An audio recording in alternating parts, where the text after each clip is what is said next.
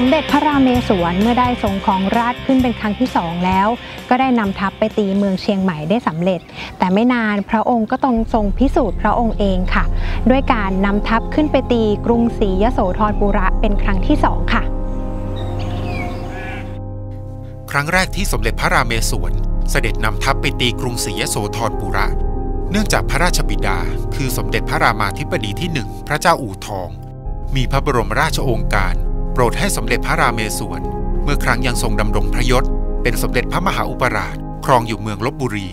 เสด็จนำทัพไปตีกรุงศรียโสธรปุระ แต่พระองค์เกิดพลาดท่าเสียทีตกอยู่ในวงล้อมข้าศึกทำให้สมเด็จพระเจ้าอู่ทอง ต้องขอให้สมเด็จพระบรมราชาคุณหลวงพะงั่วผู้เป็นพระเจ้าลุงของสมเด็จพระราเมศวร ซึ่งขณะนั้นยังครองเมืองสุพรรณภูมิอยู่นำทัพสุพรรณภูมิไปช่วย จนตีได้กรุงศรียโสธรปุระกลับมา ทำให้สมเด็จพระราเมศวร เมื่อเสด็จขึ้นครองราชได้เพียงหนึ่งปี ก็ต้องยกราชสมบัติถวายแก่สมเด็จพระบรมราชาคุณหลวงพะงั่วผู้เป็นพระเจ้าลุงของพระองค์ และครั้งนี้กลับมีโอกาสที่สมเด็จพระราเมศวรจะได้นำทัพไปตีกรุงศรีโสธรบุระอีกครั้งครับ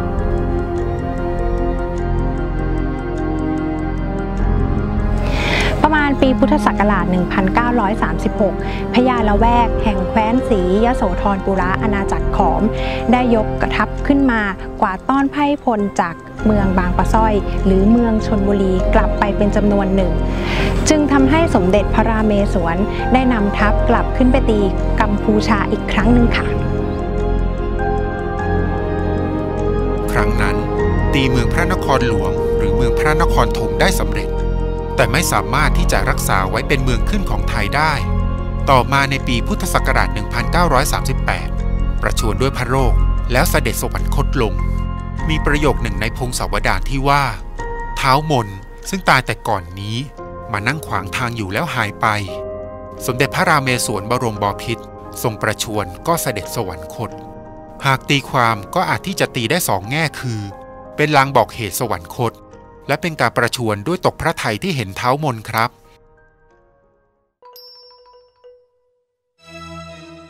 ภายหลังจากสมเด็จพระราเมศวรเสด็จสวรรคตลง สมเด็จพระราชโอรสของพระองค์ พระรามราชา ก็ได้เสด็จขึ้นครองราชสมบัติต่อมา โดยพระองค์ทรงเป็นพระมหากษัตริย์ ราชวงศ์อู่ทองพระองค์ที่สามและถือว่าเป็นพระราชวงศ์อู่ทองพระองค์สุดท้ายของกรุงศรีอยุธยาครับ สมเด็จพระรามราชาธิราช พระนามเดิมคือพระรามราชา เป็นพระราชโอรสของพระราเมศวรได้ทรงครองราชสมบัติสืบมา แต่เมื่อสมเด็จพระราเมศวรเสด็จสวรรคต ได้พระนามว่าสมเด็จพระรามราชาธิราช ในรัชกาลนี้ไม่มีเหตุการณ์ใดสำคัญ ในพงศาวดาร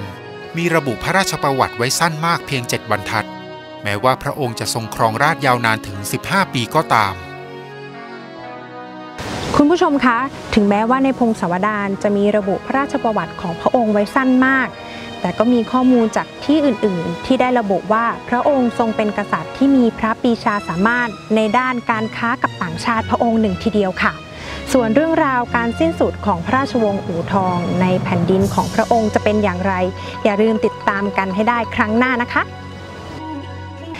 และสำหรับช่วง Extreme Focus คิดจะพาคุณผู้ชมไปที่ไหนบ้าง พักสักครู่แล้วเดี๋ยวกลับมาเจอกันค่ะ